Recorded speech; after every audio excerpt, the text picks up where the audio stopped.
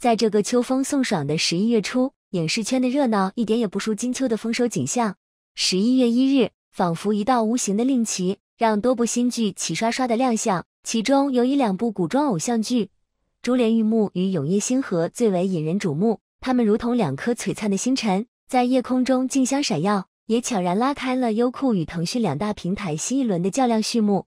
家庭温情与古偶盛宴的双响炮。如果说《好团圆》与《小巷人家》以其贴近生活的家庭温情，为观众的心灵送上了初冬的第一缕暖阳，那么《珠帘玉幕》和《永夜星河》则是古装剧迷期待已久的盛宴。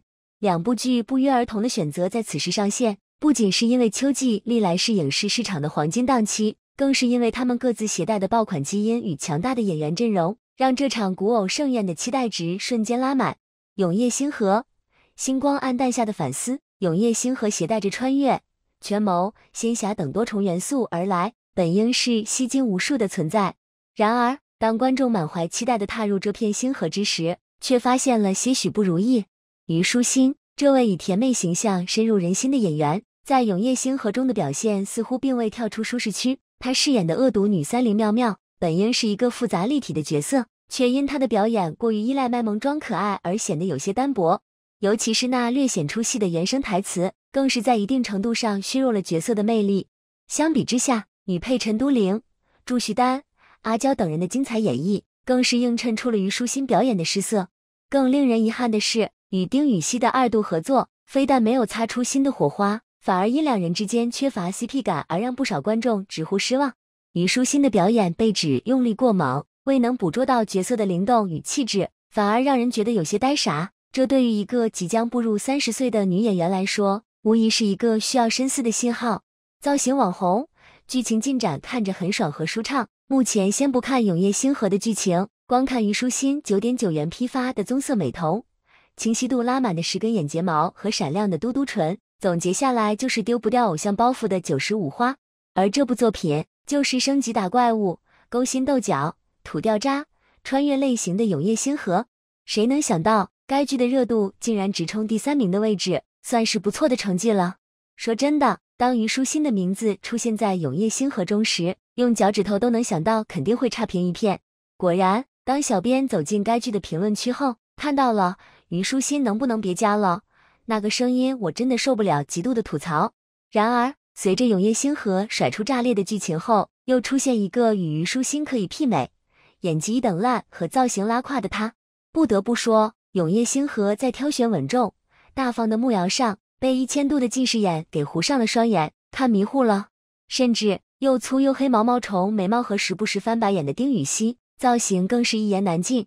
这三百六十度也看不出木生是一名智商超优、帅气满分和英俊潇洒的人设啊，反而像个憨憨的存在。怪不得观众差评道：丁禹兮和虞书欣的造型太丑了，谁家男女主角的演技是拖泥巴呀？更有的观众表示，为了金腰的陈都灵来看的作品，真是被虞书欣矫揉做作的表情、扭扭捏捏的性子给劝退了。但剧情看着很爽，尤其是林妙妙喋喋不休的嘴替，看着就很舒畅。跟虞书欣对戏的丁禹兮，他愤怒的眼神、起飞的眉毛和咬牙切齿的表情，太生动和逼真了。看来常年流转在古装作品的丁禹兮，有些看不下去虞书欣撒娇。辣眼睛和矫情做作的演技了，没想到信念不坚定、演技不够熟练的丁禹兮，她的演技也被虞书欣给带着表面和敷衍了。要说虞书欣脸上的表情是害怕吧，那丁禹兮挤眉弄眼的表情是在演绎嫌弃和厌恶吗？是挺表面哦。对此，观众评价：林妙妙一出场，空气中都是笑声一片了。不得不说，看着虞书欣和丁禹兮搭戏的画面。委实看不出永夜星河的主线是在干啥，打酱油、浑水摸鱼吗？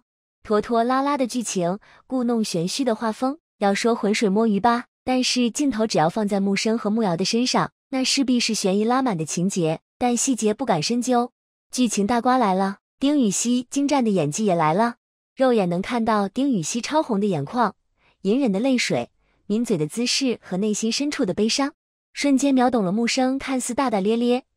实则把慕瑶当做了最亲最亲的姐姐，而慕瑶却没有把她当做亲爱弟弟悲伤的故事。珠帘玉幕逆风翻盘的励志篇章，而另一边，珠帘玉幕则以完全不同的姿态，在古偶市场中掀起了一股清流。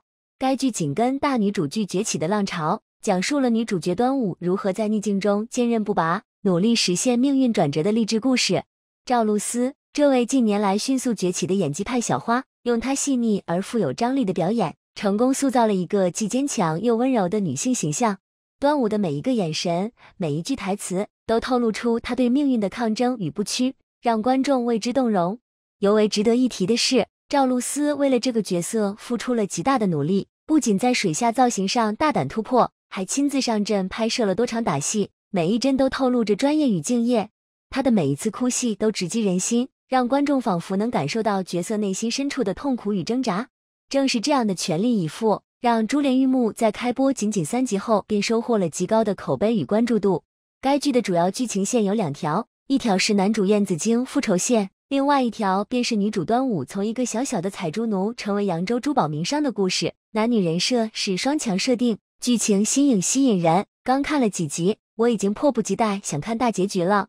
刘宇宁饰演男主燕子京，看起来心狠手辣，实际内心敏感正义。燕家满门被抄，他亲眼看着父母死在眼前，为了复仇隐忍数年，成为珠宝富商，一步步展开谋划。男主燕子京出场十分高调，仅用了两集就从高调出场引男二张晋然入局，到火烧珍珠楼完成第一场复仇，看他射箭名场面好过瘾。回忆起当初全家被害情景，眼中含泪的细节真棒。赵露思饰演女主端午，坚强不屈的采珠场女奴，善良坚韧，希望有朝一日能够获得自由，最后通过自己努力成为珠宝行手，庇护了很多不幸女子，妥妥的大女主人设。本以为是一部平平无奇的古偶剧，没想到看了正片彻底看上瘾。男女主颜值演技在线，身高差很有 CP 感，其他配角人物一个比一个优秀，尤其是唐小天饰演男二张晋然，古装扮相算帅气，对待女主端午温柔又克制，两人看着也很般配。正片前几集基本交代了故事背景，剧情发展节奏快，女主赵露思出场惊艳，海底捞珠就像一个美人鱼在海底穿梭，非常的真实。暗示了女主端午和珠子一样坚韧不拔。赵露思在剧中好几场哭戏都非常有破碎感。端午貌美，遭到猪场男人欺负，还说着夜夜换新郎之类露骨话语。她誓死保卫清白，直到用匕首吓走男人。看她孤零零坐在那，好可怜，眼里满是惊恐与悲伤。端午好不容易得知八娘就是亲生母亲，结果下一秒就生死相隔。赵露思感情爆发，戏很棒。看着后面的追兵。端午哭着央求八娘和他一块走，他在船上落下的那滴泪绝了，整个人显得弱小悲惨，破碎感拉满。